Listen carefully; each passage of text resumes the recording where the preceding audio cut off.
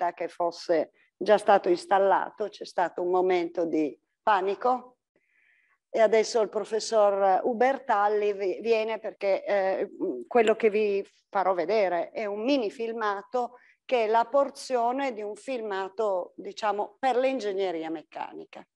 Allora io in particolare di, di, cosa mi occupo? Io mi chiamo Francesca Curà, eh, insegno a meccanica da sempre, da, da, dalla notte dei tempi, quando ho iniziato qui in Politecnico. Di fatto mi sono sempre occupata di costruzione di macchine, quindi come si dice in gergo, un meccanico sono un meccanico freddo, quindi significa che non mi occupo di motori e di combustione, quindi di energia, ma mi occupo di fatto di trasmissioni. Infatti quello che vi presenterò è, è un filmato sul, sull'autoveicolo. Ma l'autoveicolo perché? Perché è quello che a voi, a noi sembra più naturale. Eh, quindi partire e dire che cos'è una trasmissione eh, partendo dal veicolo, ma nella realtà le stesse trasmissioni che sono composte da un tot di elementi delle macchine eh, possono andare su tantissimi eh, altri gruppi che possiamo definire meccanici. Beh, la classica trasmissione aerospaziale, complicatissima, perché è una trasmissione di potenza con dei grossi vincoli di peso. Un'altra trasmissione tanto in voga oggi è quella tipica delle generazioni eoliche. Tante pale, quelle enormi pale, sono comandate da trasmissioni meccaniche. Io ad esempio ho lavorato con degli ingegneri spagnoli per eh, dei problemi su delle trasmissioni meccaniche di un parco di turbina. Quindi cos'è una trasmissione? È qualcosa che deve trasmettere la potenza. Quindi partiamo da un motore, quindi qualcosa che spinge, tra virgolette, poi c'è una grossa black box fatta da un sacco di cose, e, e poi c'è l'utilizzatore, che può essere la ruota del veicolo, che può essere eh, la pala della turbina, che può essere l'aereo. Cosa, cosa, fa l'ingegnere meccanico? L'ingegnere meccanico, al povero ingegnere di solito viene richiesto tutto. Eh, ah, tu sei un ingegnere, non sai aggiustare la lavatrice. No, io non l'ho mai aggiustata. Non sai aggiustare la televisione. No, non ne ho la più pallida idea l'ingegnere deve sapere perché deve usare l'ingegno. L'ingegnere meccanico in particolare è volto più alla meccanica. Una volta si diceva l'ingegneria meccanica è la più generale, ma un pochino è vero, nel senso che l'ingegnere meccanico fa un po' di tutto. Però oggi ci sono un sacco di altri percorsi che sono generali allo stesso modo, perché per fortuna vostra eh, l'utenza eh, può scegliere tante cose diverse, proprio perché la meccanica non è l'ultima, non è l'unica. Ovviamente eh, voi pensate a un percorso di laurea triennale, no? Siete uscite dalla, dalla scuola superiore, anzi facciamo gli scongiuri, avete la maturità di qualunque, eh, diciamo, eh, tipologia sia e fate una scelta universitaria. Beh, intanto ingegneria è una scelta particolare perché comunque è una facoltà pesante, è una facoltà che vi fa lavorare. Che cos'ha però di buono questa scuola? Che è molto ben organizzata. Allora è chiaro che siamo in un mondo reale, quindi eh, ci sono anche dei problemi eh, nella nostra università, ma sono molto minimi rispetto ad altre università e facoltà. Questo me lo, me lo dite voi, cioè me lo dicono i tantissimi ragazzi che eh, che io ho avuto come studenti, come tesisti. Quindi qui è abbastanza tutto organizzato, venite buttato in questo primo anno che è un po' generale per tutti e poi man mano, già dal secondo anno, già da corsi come fondamenti di meccanica strutturale, voi cominciate a vedere la meccanica. La meccanica come? Come strutture. Quindi eh, voi cominciate a studiare eh, le strutture o meglio come progettarle. Cosa vuol dire progettarle? Vuol dire che se partite da un foglio bianco eh, dovete inventarvele. A voi non sarà richiesto questo, forse neanche alla magistrale, però il concetto è questo. Voi avete dei dati di partenza e dovete realizzare un qualcosa, giocare con un qualcosa. quello che invece gli studenti di solito, soprattutto della triennale, sono più portati a verificare. Cosa vuol dire? Vuol dire io ho un oggetto, ho una trasmissione, ho un gruppo meccanico, poi se arriverà il filmato lo vedremo, eh, avete un gruppo meccanico e dovete vedere se regge. Cosa vuol dire se regge? Vuol dire se quel gruppo, quell'insieme di oggetti che di solito sono in movimento, perché l'ingegneria meccanica non è la civile, non è il ponte fermo, è qualcosa di simile ma che si sta muovendo. Ecco, bisogna andare a vedere se quella cosa eh, sopporta i carichi per i quali è stata progettata.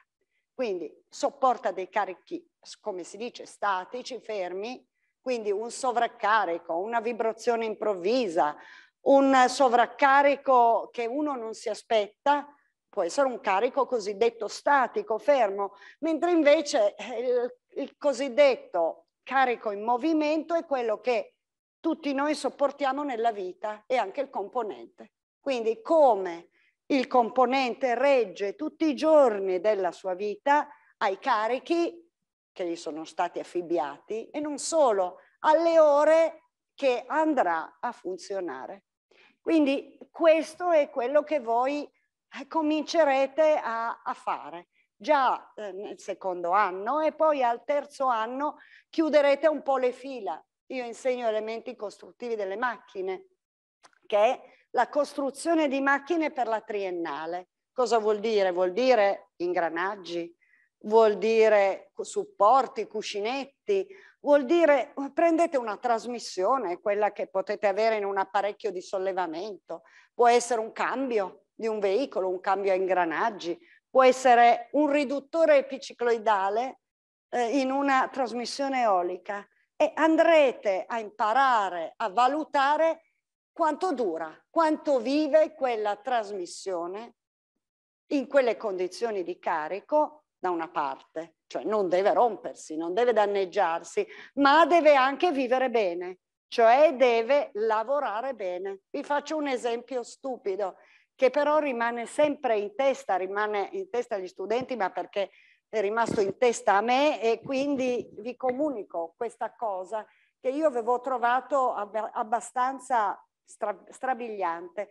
Quando appunto avevo lavorato in Spagna con questi ingegneri, loro nella trasmissione eolica non andavano a vedere quanto dura, perché loro sostituivano i componenti do dopo vent'anni.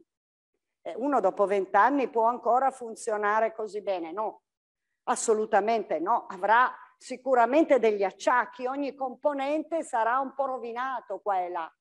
Ma siccome nelle turbine eoliche, nei parchi eolici, eh, no, non importa se, se c'è rumore, non è come il veicolo che deve essere silenzioso, non è come l'aereo che deve essere silenzioso perché ha già del rumore suo, ha tutta la parte aerodinamica, pensate che fa un macello dell'accidente. E col generatore eolico, se anche i suoi supporti sono un po' rovinati e fanno rumore, chi se ne frega.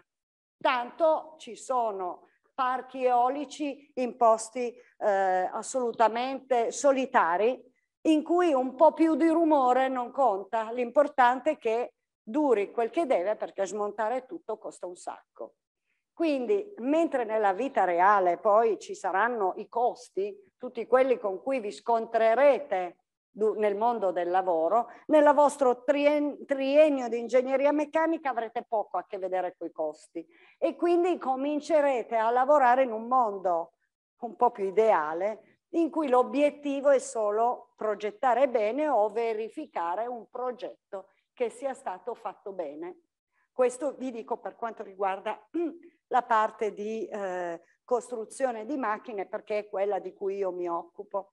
Allora, prima che arrivi il nostro filmato, che ho obbligato il povero professor Ubertalli ad andare a venire al suo ufficio perché io non ce l'avevo, non, non immaginavo di dovermelo portare, ci sono domande da parte vostra. Ecco, che cosa pensate di trovare in questo mondo politecnico che come ingresso è molto accattivante, poi vi massacrano un pochettino.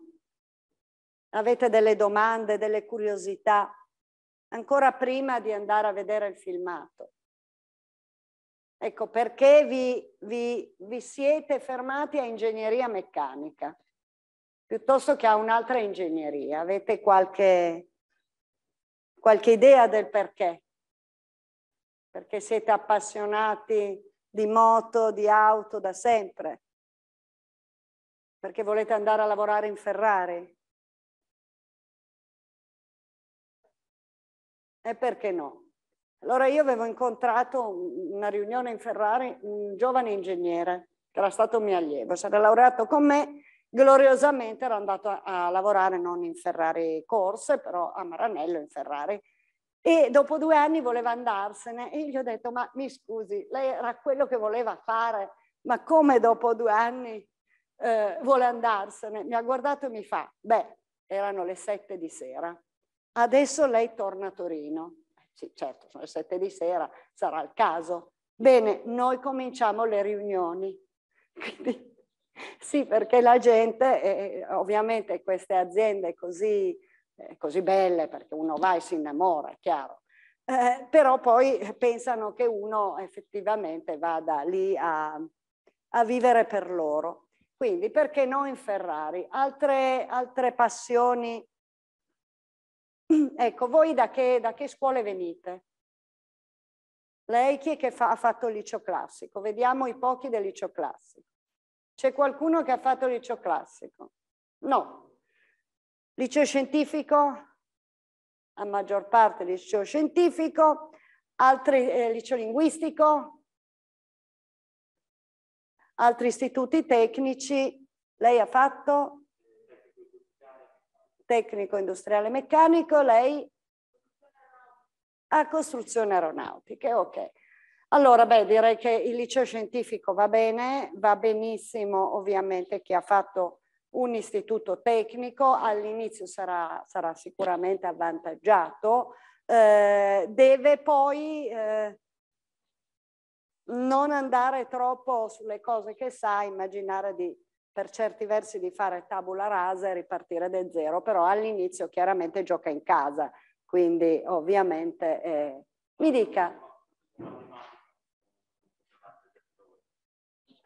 Matematica, eh, allora il problema, poi rispondo alla signorina che ha alzato la mano, allora il primo anno come sapete è uguale per tutti. Devo dire che adesso, oggi, oggi parlo degli ultimi anni, sicuramente anche tutte le analisi sono molto ben organizzate, avete dei corsi eh, di supporto. L'unica cosa è non bisogna partire subito, cioè non perdere neanche un'ora, ecco, quello sì. Subito, come, ecco, come a scuola, come al liceo. Cioè, il Politecnico è organizzato in questo modo, lezioni, esercitazioni, lezioni, esercitazioni, come in liceo, ecco. Questo non dovete perdere il, il passo. Mi stava chiedendo, signorina, una cosa? Sì? Sì? Certo, certo. Allora, la domanda è interessantissima, è perfettamente azzeccata ed è, eh, le rispondo quello che dico sempre, forse la prima lezione a elementi costruttivi ai miei allievi. È esattamente quello che dice la signorina. Qual è, visto che lei ha già dei concetti eh, chiari, il progetto, la verifica dell'elemento di macchine, l'albero, il cuscinetto, sono tutti oggetti che lei conosce.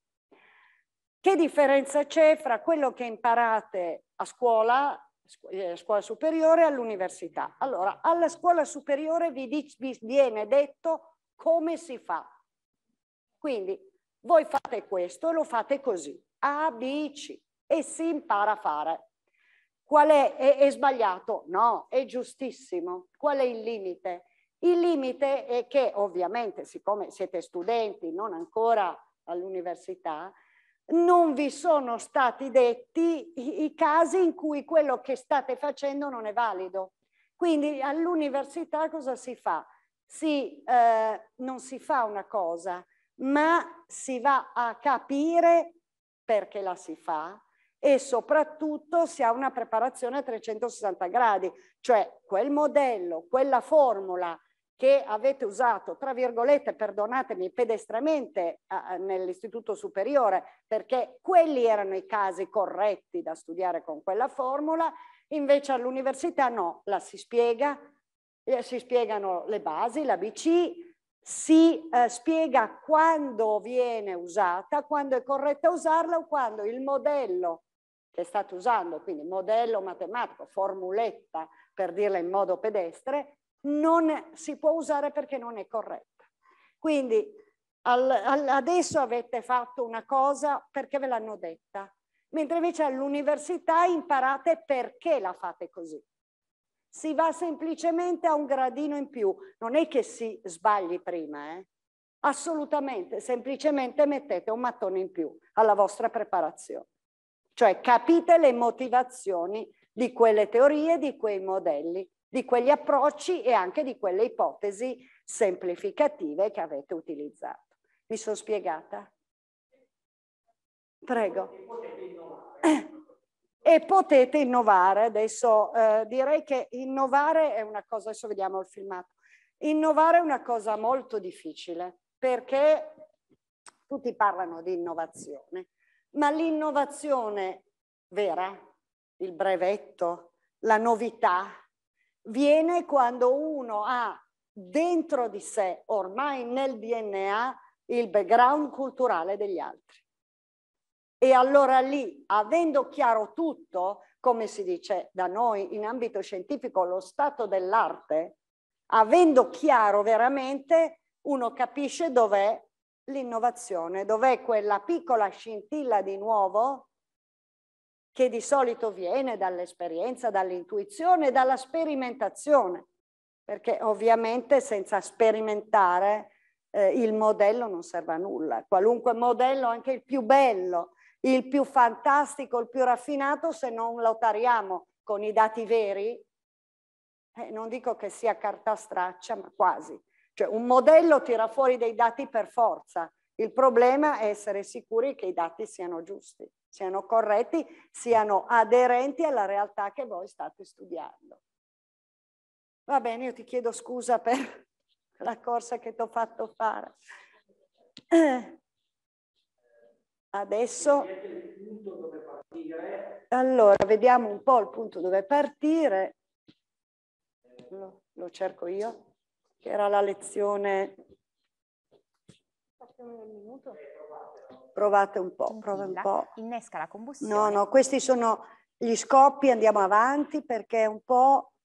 Uh... oltre è tuttavia importante chiarire che cosa intendiamo. Questa è la meccanica calda. Cosa intendiamo? Sente Noi siamo dei freddi. Una sensibile... Le ghise, le leghe di titanica resistenza. Forse era prima allora. Del peso. Allora, Quindi partiamo scelte utilizzo di materiali strutturali con opportune caratteristiche. A due terzi, dal disegno alle macchine elettriche, Andiamo avanti. misure alla meccanica ai tanti, ne abbiamo scelto. La produzione è artigianale e le automobili sono pezzi unici dell'automazione e della trasformazione sulle superfici. Ancora così un filo, un filo poco. un'elevata procedura e poi completamente automatizzata su linea guida. Ossia vi sono alcune statine sulla vettura, vengono installati il quadro strumenti e la console centrale. Sì. In ogni postazione di lavoro è Perché c'è un che giovane... venivano utilizzate sia Eccolo là, venga un con i attimino Io e allineamento del per la prova No, no, avanti, dopo L'esigenza di trasmettere il moto risale a molto tempo fa. il, il Una delle volume... prime applicazioni Lui Edoardo Gotti è un mio dottorando 1600 che si è prestato a fare la i cinesi registrazione. realizzarono un carro bussola funzionante mediante ruote a pioli in legno.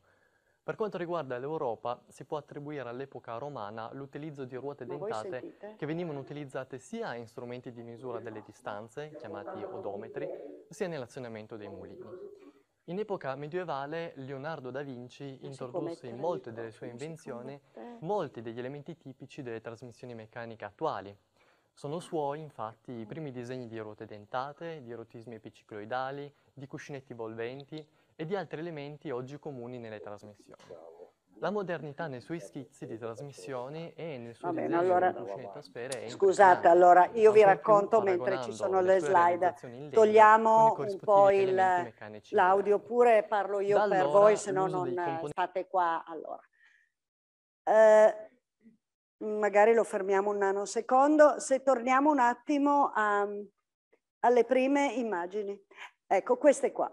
Uh, sì, subito dopo i cuscinetti. Eccole là, fermi un attimo, ci fermiamo un attimo. Allora, eh, trasmissioni, quindi questi sono pochi minuti sulle trasmissioni, perché si parte dai disegni di Leonardo, perché Leonardo da Vinci, il nostro genio infinito, ha di fatto inventato tutti i componenti meccanici che noi oggi studiamo. Cioè, ha fatto di tutto, ovviamente, ma ha fatto anche eh, i componenti meccanici, se li ha inventati.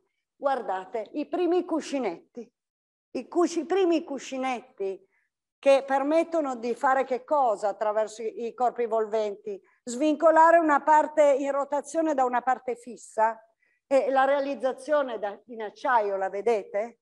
E beh, eh, l'ha fatta Leonardo. Leonardo per primo ha eh, disegnato la forma dell'evolvente nei denti di ingranaggio. La forma dei denti di ingranaggio l'ha fatta Leonardo.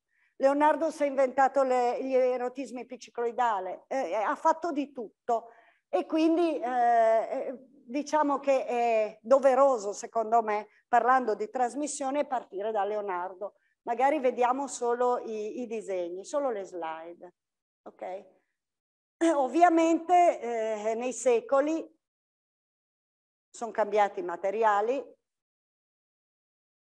le trasmissioni con la rivoluzione industriale sono andate via via cambiando. Cosa vuol dire sono cambiati i materiali? Vi faccio, eh, vi faccio solo un, un, un, esempio, un esempio stupido, ma chi ha fatto un istituto tecnico, non so se qualcuno di voi ha mai par sentito parlare di eh, modulo di Young o legge di Hooke.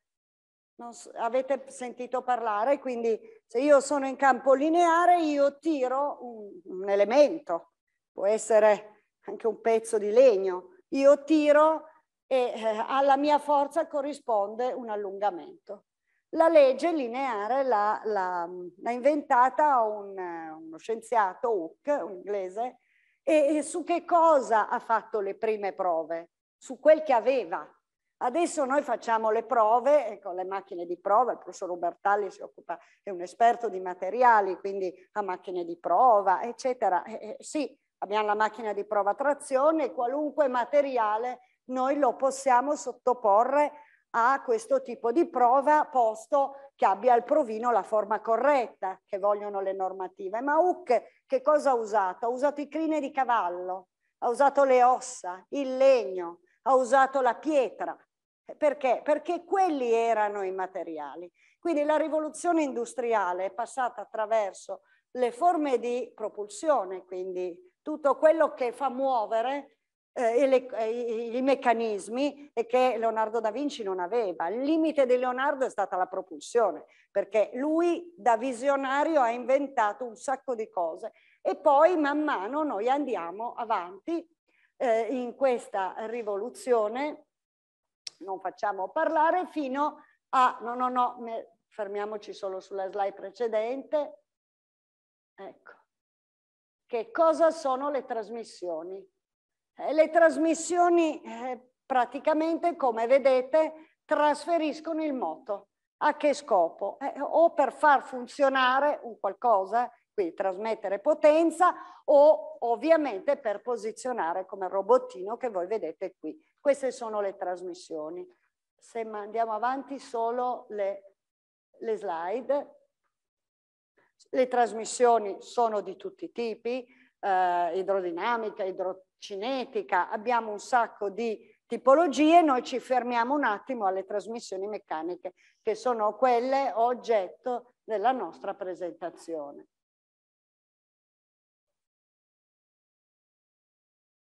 Proviamo. No, lui parla. Ok, questo per esempio è uno schema enorme di una trasmissione per veicolo industriale. E lo schema, eh.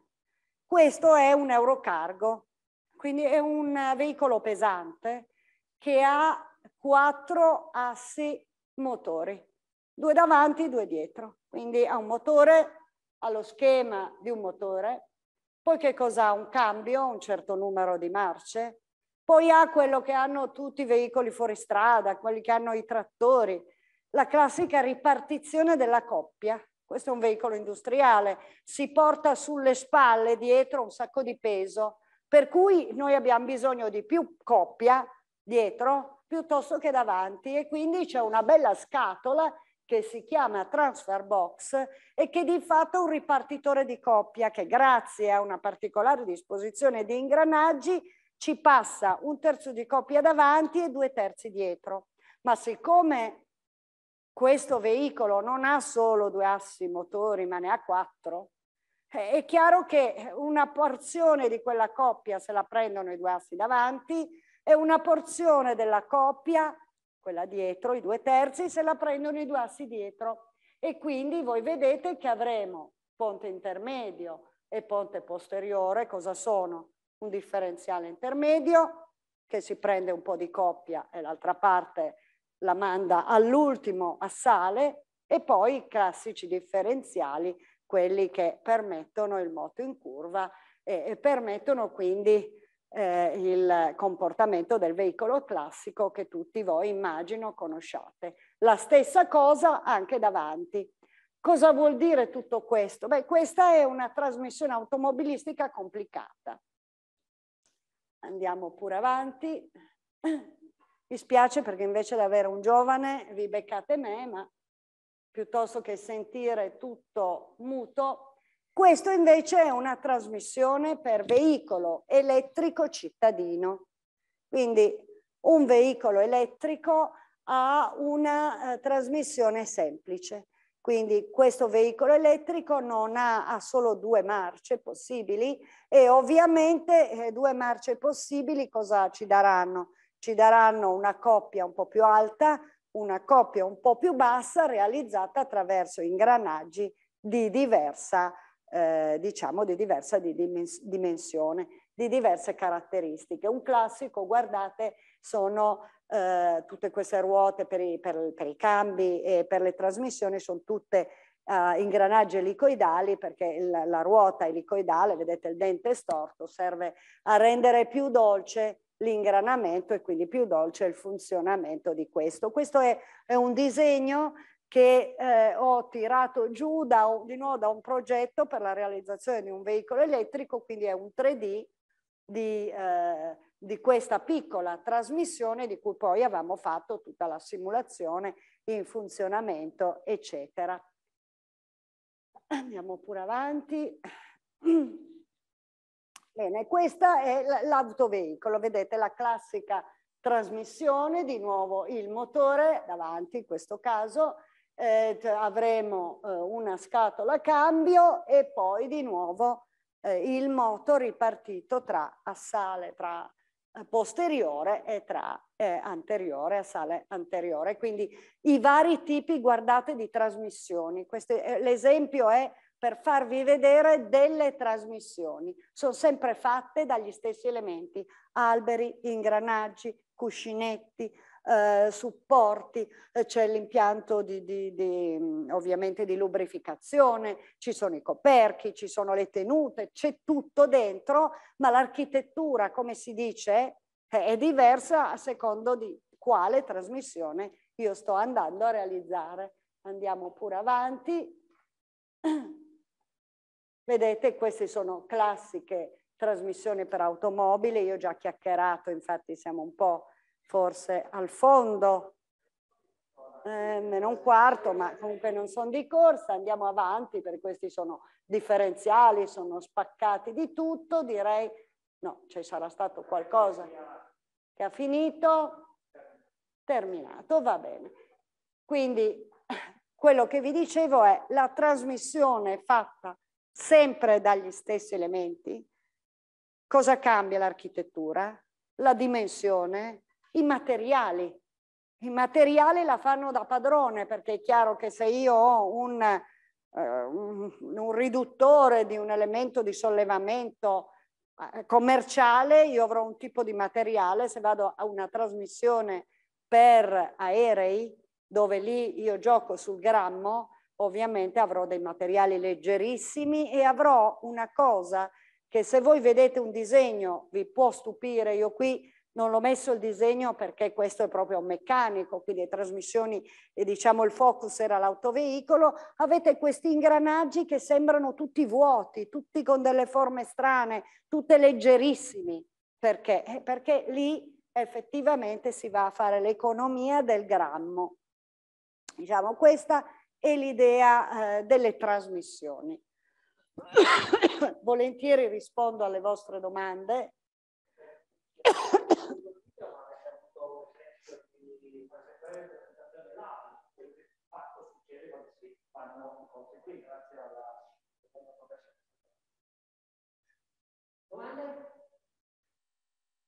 Perché loro mi hanno già chiesto delle cose interessanti prima. Oh, ecco sì. Guarda, giusto, io molto volentieri mi rimetto la mascherina e do il microfono.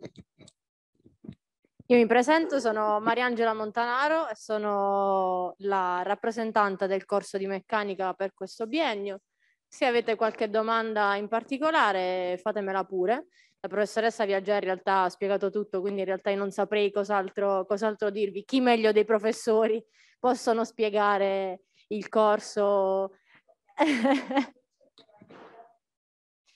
Eh, vabbè, dal punto, di vista, dal punto di vista di una studentessa, l'unica cosa che posso dirvi è che sicuramente cioè, iniziare ingegneria in generale, ingegneria meccanica, è difficile, però per rimanere in questo tema, dopo aver ingranato, eh, la cosa è tutta, è tutta, più facile, è tutta più semplice.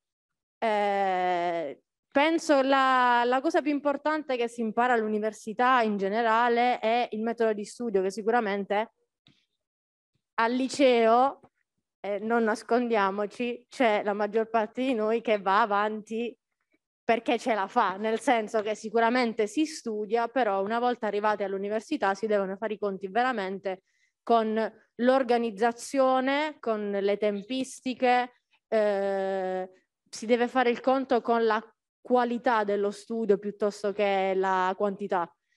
Eh, fatemi qualche domanda, veramente, io sono qui a vostra disposizione. Qualsiasi cosa.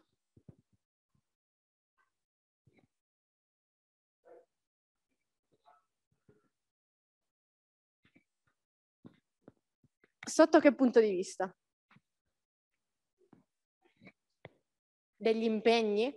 E ripeto, una volta all'inizio vi sembra, cioè per, vi parlo della mia esperienza personale, all'inizio per me è stato solo studio, studio, studio. Nel senso che ti rendi conto che magari ti sembra di non avere più tempo libero perché devi dare priorità ecco, alla, al concentrarti su quello che devi fare. Ecco, una cosa importante è che il fatto di non esserci delle scadenze fisse tipo le interrogazioni no? che ci sono al liceo magari molto spesso rispetto alle sessioni dell'università fa sembrare come se, vabbè, c'è tempo, ho tempo di fare tutto, ma in realtà non è così. La costanza è una cosa davvero fondamentale importante per riuscire ad arrivare agli esami non con l'acqua, non con l'acqua alla gola, per riuscire a, a passarli, insomma. Eh, però, ripeto, una volta che avete ingranato, in realtà alla fine la maggior parte degli studenti universitari forse fanno tantissime cose che magari al liceo non facevano, cioè si riesce benissimo a conciliare le attività sportive, hobby e quant'altro con, con lo studio.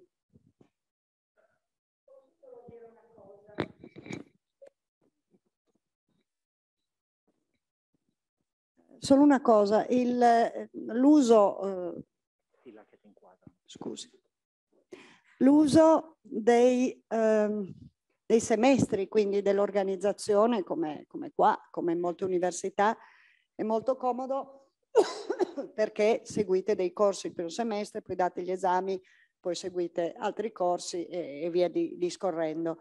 Il problema è che beh, la signorina non ve l'ha detto, ma eh, è che avete so, quattro appelli in pochi giorni. Non volevo rovinargli la sorpresa, no, in realtà sì, abbiamo forse una delle pecche, diciamo, del Politecnico di Torino è che abbiamo quattro appelli all'anno e ovviamente il rischio è che non passando poi un esame si vadano ad accavallare con gli altri, però bisogna far sempre affidamento su questi quattro appelli.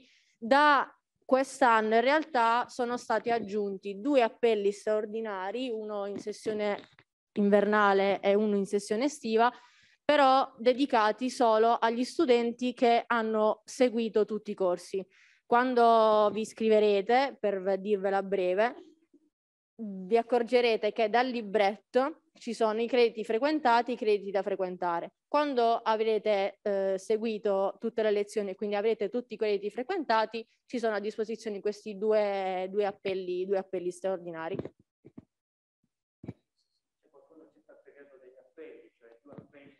Ci sono, sì, allora per semestre, se per il semestre invernale ci sono due appelli per le materie invernali, poi un appello estivo e un appello a settembre. La situazione è switchata per la sessione estiva, cioè per gli esami che si frequentano nella sessione, nella sessione estiva ci sono due appelli per la sessione estiva, uno a settembre ed uno a gennaio.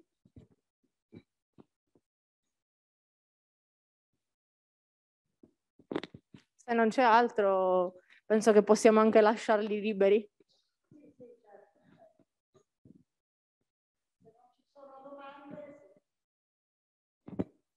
Grazie a voi.